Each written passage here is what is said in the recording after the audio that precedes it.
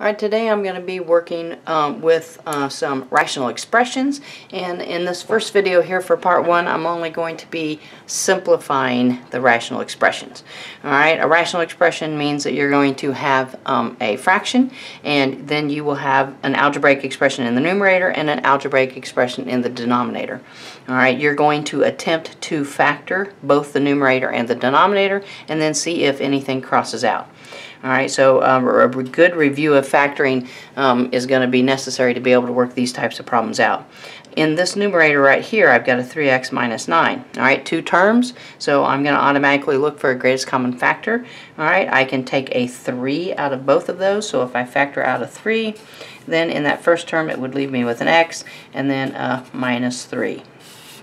Alright, looking at this denominator, I have a trinomial. It's going to be an easier trinomial than normal because of my leading coefficient of 1 right here.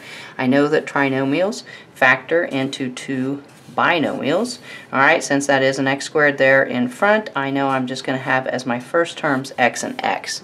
Alright, then I need to go through, I need to look for two numbers that multiply together to equal positive 9, and then when I add them, they will be a negative 6. Okay, so the only way to get a negative 6 would be if I had two negatives over here. Two negatives do make a positive, so I could do a negative 3 and a negative 3. Alright, now you do want to double check, go back and check if I FOILed this out, I should get this denominator. So multiplying first terms, x times x would give me that x squared. A negative 3 times a negative 3 would give me the positive 9 right there. And then inside and, and, and outside terms. So a negative 3x here and a negative 3x right here. If I add those two, negative 3x plus negative 3x gives me that negative 6x, so I did factor it correctly. Alright, now what I'm going to look for is I'm going to look for um, something that's going to cross out, something in the numerator and in the denominator that I can cross out. I have a binomial in top, x minus 3. I have two binomials in the bottom, both of which are x minus 3. I may cross out one for one. So there is an x minus 3 in the top I can cross out, and x minus 3 in the bottom that I can cross out.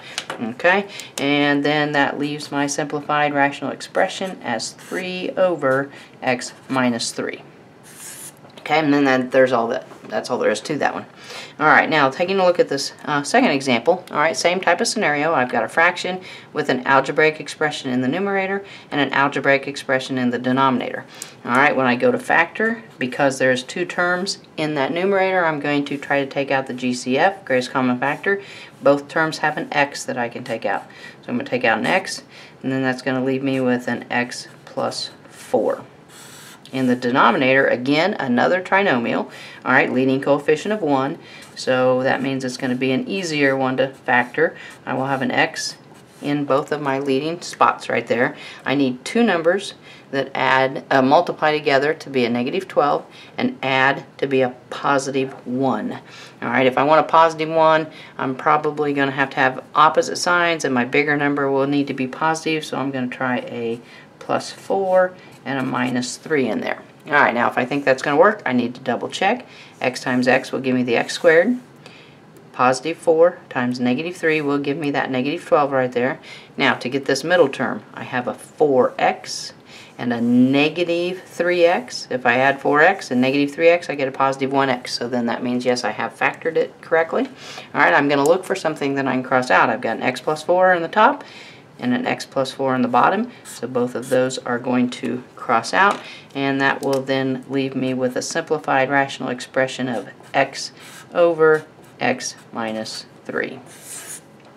Alright, so just two real quick examples on how to simplify a rational expression. If you like the video, go ahead and give me a like, and if you find this helpful, then go ahead and subscribe to my channel, and maybe you'll find some other videos that'll help you. Thanks.